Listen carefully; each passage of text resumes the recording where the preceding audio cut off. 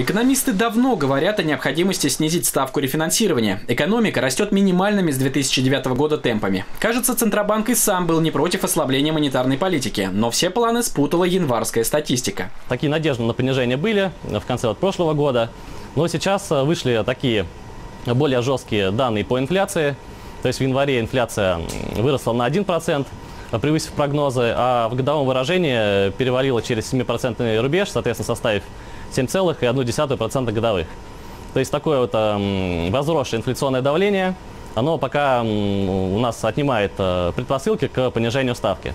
На фоне этого участники рынка даже забеспокоились, как бы регулятор не поднял ставки. Но усилившееся политическое давление, скорее всего, не даст ему это сделать. В конце января президент Владимир Путин заявил, что его беспокоит рост процентных ставок. По словам главы государства, это ухудшает ситуацию с кредитованием экономики и граждан. Глава Сбербанка Герман Греф на форуме в Давосе открыто призвал монетарной власти смягчить условия рефинансирования. По его словам, с такими ставками экономика не может расти. На высокие ставки жаловались также первый вице-премьер Игорь Шувалов, министр экономического развития Андрей Белоусов, глава группы «Базовый элемент» Олег Дерипаска и многие другие чиновники и бизнесмены.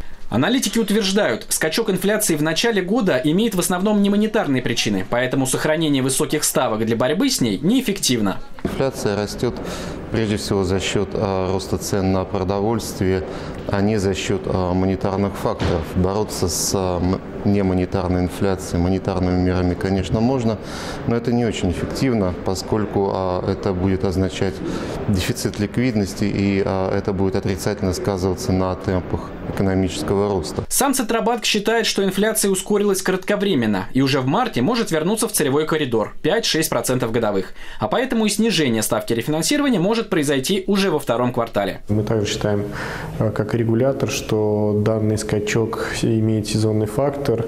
Э, соответственно, инфляция э, во втором квартале снизится. И, собственно, во втором квартале мы ожидаем уже изменений процентной ставки, мы ожидаем ее снижения на 25 базисных пунктов. Эксперты не исключают, что в рамках борьбы с перегревом рынка потреб кредитования ЦБ может пойти на ужесточение резервных требований. Но и это, скорее всего, случится не на ближайшем заседании Совета директоров, а позднее. Евгений Новиков, Вести.